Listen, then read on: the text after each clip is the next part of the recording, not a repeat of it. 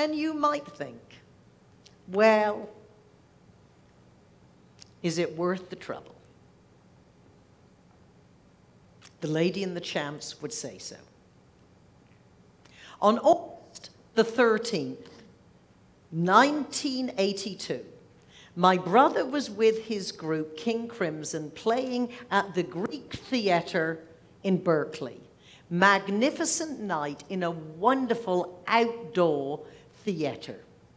I remember it not only for the experience, but that was the night I first started signing autographs for my brother, Patricia Fripp, sister to Robert.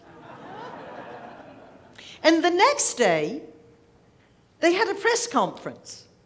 And I sat in, and a bearded, bespectacled, earnest young reporter said, Mr. Fripp, how was the show last night? And he said it was very good. And the young reporter said, Well, that doesn't sound very enthusiastic. And my brother said, What you don't realize is that we are five and a half weeks into a world tour. And some nights it's more than being good. It's more than the audience be being with you. Somehow it all comes together, and it's as if the angels descend from heaven on the silver clouds and play their golden trumpets. He said that has happened six times on this tour. It did not happen last night, but it was a very good concert. The following January, I left home for a five and a half week speaking tour. In the speaking world, this was known as the Ben Franklin Dinner Club Circuit.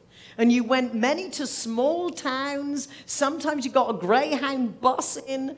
They were mature audiences who six times a year got together for dinner and a speaker.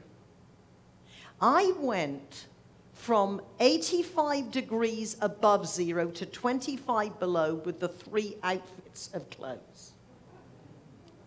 Three days before the end of the tour, I woke up and it had snowed.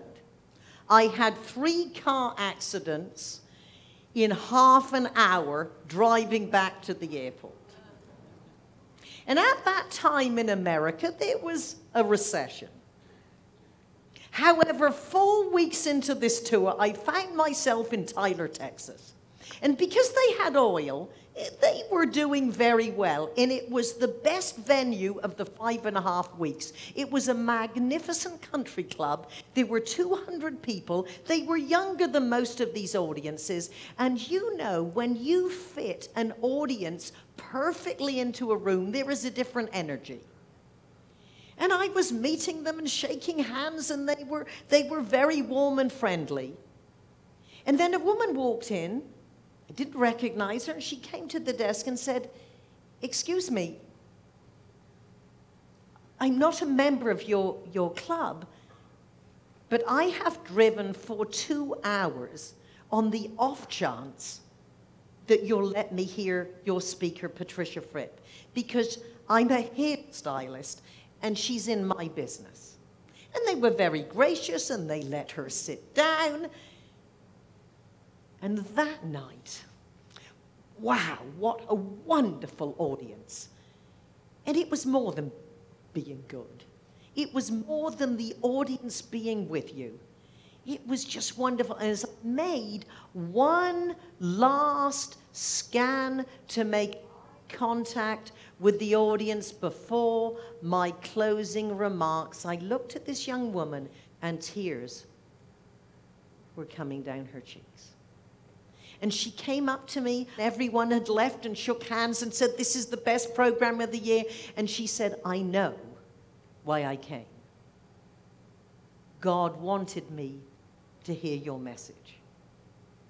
And that one night in Tyler, Texas, it was worth leaving home for five and a half weeks. It was even worth three car accidents in half an hour because they weren't too serious. Because that night in Tyler, Texas, it was as if the angels descended from heaven in silver clouds and played their golden trumpets. And when you have experienced that, you will do anything it takes to have it happen again. You will get up early. You will leave the comfort of home. When opportunity knocks, you will listen to your inner voice. You will sit down and focus where do I start? You will mind the tapestry of your life for the content that will relate and help others.